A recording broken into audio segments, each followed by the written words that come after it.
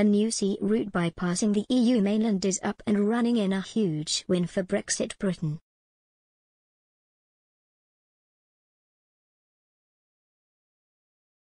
A sea route between Morocco and Britain, opened since Britain left the EU, has dramatically reduced the transport time between the two countries, improving trade links and even benefiting the environment. The route has also been hailed for guaranteeing a greater freshness of products traded between the nations.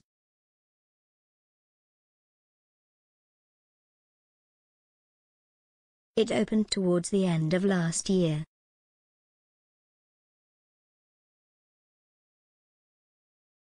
The UK's ambassador to Morocco, Simon Martin, said the route will greatly improve relations between the nations.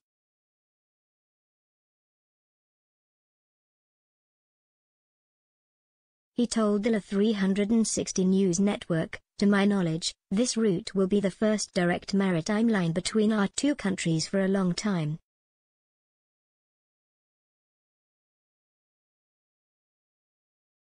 From September 2021, there will be a weekly service between the two ports.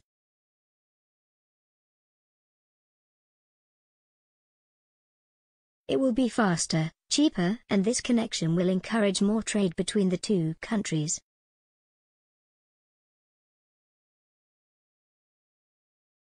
More recently, Captain Brian Murphy, Marine and Port Director at Poole Harbour Commissioners, celebrated benefits the route will bring for both Britain and Morocco.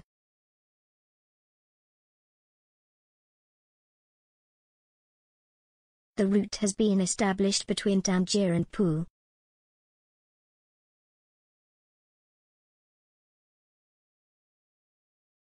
It is being managed by British company United Seaways.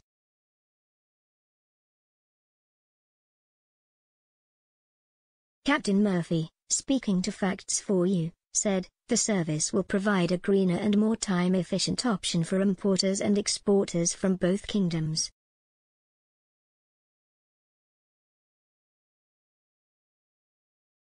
He added, the Port of Poole has been working closely with United Seaways to get this Brexit Buster service up and running.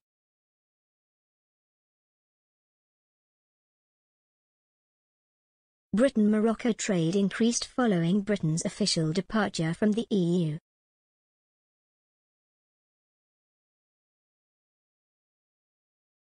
In the 12 months to October 2021, UK exports of goods to Morocco increased by 27.3%.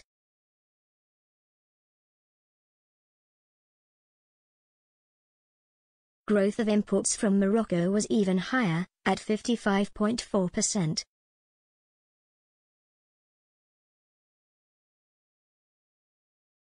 Fresh Produce Consortium CEO Nigel Jenney, quoted in Morocco World News, said in 2021, the route offers a rapid service and avoids the additional tariff complications of trading via the EU since the beginning of the year.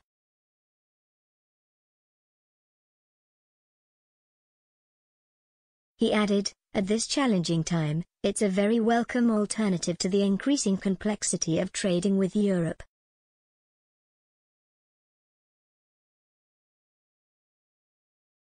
Initially, the route will be used for freight only.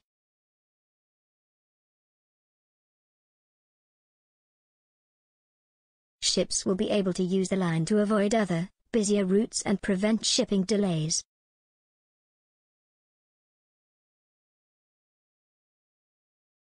But Mr. Martin hinted it could later be used for other means.